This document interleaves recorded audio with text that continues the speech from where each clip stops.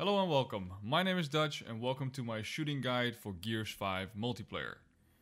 In this guide I'll be showing you some basic techniques that I believe every Gears player should know if they're gonna delve into multiplayer, whether that's co-op or versus. For this guide, we're focusing on the starting weapons of the game. The Lancer Rifle, Snub Pistol, and Gnasher Shotgun. But all of the techniques shown can be used with every weapon in the game. Now let's get started. This is Alfie. Alfie will be your designated target for today. Alfie represents what your enemy represents. When they're alive, they're able to do what you do. When they're dead, they're just a heap of blood, guts, and bullets. Now do keep in mind that everything you see in this video is subject to change. This is the launch of the game and values of weapon damage and weapon range can change over time. So I suggest you pay more attention to the technique than to the actual weapon. Let's kick things off with the Lancer rifle. The Lancer is the staple weapon for any support player or support play. When fired fully automatic, it can down a player within a second, depending on where you hit the target. At the making of this video, it takes 11 shots to the legs or upper body to take down the opponent, and 8 to the head. Now due to the recoil system introduced into Gears 5, I suggest you aim for the upper body or legs until you manage to get better at managing your recoil and then you can start going for the headshots. But it's not required. It only takes 3 bullets less to down somebody by hitting all headshots. Now in my opinion, depending on the range, it's better to go for center mass and ensure a hit than risk missing going for the head. Now three things to keep in mind before we move on to the next weapon is that number one, depending on latency in your game, these values might change. It could show that you're hitting, but actually not hitting because the game refused to hit. This is due to the netcode of the game, but it's something I won't be covering in this video because it's not something that's in your control. The second tip is there currently is no damage drop off with the Lancer. This means that it takes just as many rounds in a close range as far range to down somebody, depending where you hit, of course. And tip number three when using the perfect active reload, you down players even faster. This also means that depending how many shots you hit, you can actually kill multiple enemies before you have to reload. Now next up is the Gnasher shotgun. The Gnasher is the most effective starting weapon in the game at killing players point blank. It's a shotgun, that's what it's supposed to do. However, there are multiple ways to use the Gnasher in an effective way.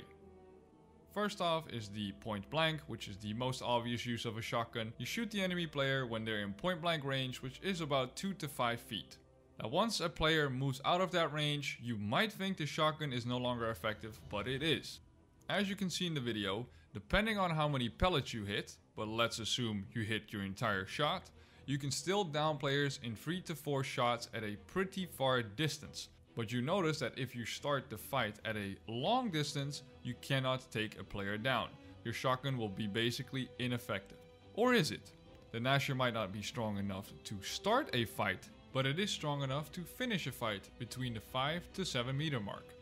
As you can see in the demonstration, if a player is hurt enough, you can finish them off by landing the few crucial hits now in this video it's demonstrated with the Gnasher, but you can use the Snub Pistol or of course the Lancer Rifle. Keep this in mind in every single fight, including your teammates. Now the last weapon of your arsenal is the Snub Pistol. The Snub Pistol is the default pistol that you spawn in in the regular game types, this does not count for arcade. And its main purpose in my eyes is a transition weapon in case that your Lancer or Gnasher fails to down the target.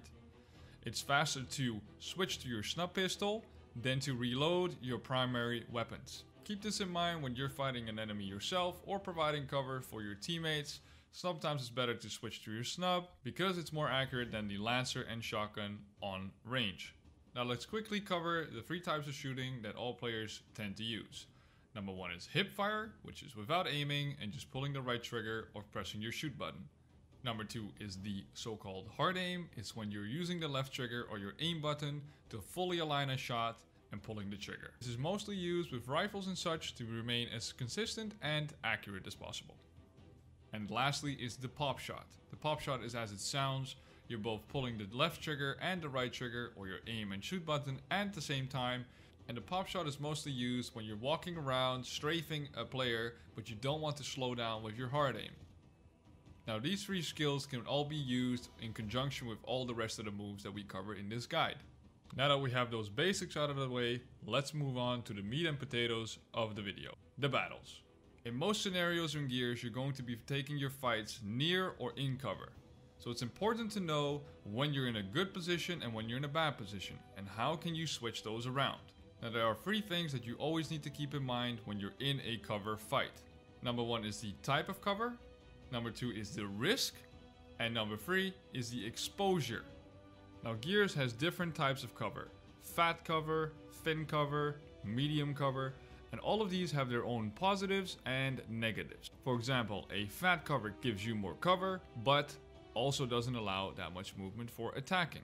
And on the other side of the coin, thin cover gives you a lot more room to breathe and to attack, but also exposes you more to enemy fire. The second was risk, by risk, I mean how much do you have to risk in order to get a shot on target. And the last one is exposure. By exposure, we mean angles, and this is probably the most effective thing you need to learn. The goal is to minimize your own exposure and maximize the exposure of the enemy so that you can hit more shots than they can on you. And a combination of these three is always ideal. Now as an example, you're in a cover fight with an enemy player that's in the identical cover as you, trying to do the same thing. However, the most obvious thing to do right now is to get out of cover and simply walk up to the enemy and shoot him in the face. But this leaves you exposed and is not a good approach in my opinion. So what can you do here? Well, on first thought, it doesn't seem like much. But when you move around cover, you can see that the angle towards the enemy changes depending on which side you're looking and also which cover you're in. Now when I head to the left of cover, you can see that the more I move to the left, the more exposed the enemy player is. Now this gives me an angle to attack. And a quick tip for this is to always angle your character correctly before you start aiming. By this I mean you can aim with the right hand and you can aim with the left hand in cover. On the flip side, I can SWAT turn to another piece of cover and instead of exposing myself by taking the first shot that I can, I think about my own exposure, turn my character away from the target, aim over the wall and down him in 2 to 3 shots. Now the greatest thing about these three fundamentals is that you can apply them every time you play. Whether you're playing Escape, or you're playing Horde, or Co-op versus AI, the mechanics stay the same. It's all about the type of cover, the risk, and the exposure in order to get the job done. And the last thing we're going to cover is shooting mechanics. Gears of War has had two different shooting mechanics since Gears of War 2, and Gears 5 is no different.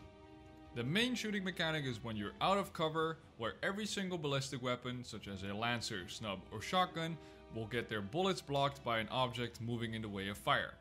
So if I'm aiming at a person and someone walks across my shot, the bullets will hit the person in front of the person that I'm aiming at. However, there is an exception, and the exception happens when you are in cover because the game will no longer register an object that is in the way between you and your crosshair. Sounds confusing? I know. Let me show you with these examples. So here I'm above my target that's on the other side of a wall. But as you can see, when I try to shoot the person without taking cover, all it does is hit the wall. And that's because there's an object between me and the crosshair. So if you draw a line between the tip of the gun and where the crosshair is at right now, there's a wall in the way, thus my bullets won't go through the wall. But if I take cover and I aim at the same spot again, my bullets will go through the wall. And you could see this as an exploit, but it's been in the game for 10 plus years. If it hasn't been fixed so far, you can be safe to say it's not going to get fixed. These mechanics are also used by the professional players at the highest level of the game. And there you have it, boys and girls. That was my guide on the shooting mechanics in Gears 5. I hope it's been helpful to you. If it was, please leave a like and consider leaving a comment what was most helpful to you. And make sure you share it with your friends that might be new to Gears or maybe returning to Gears.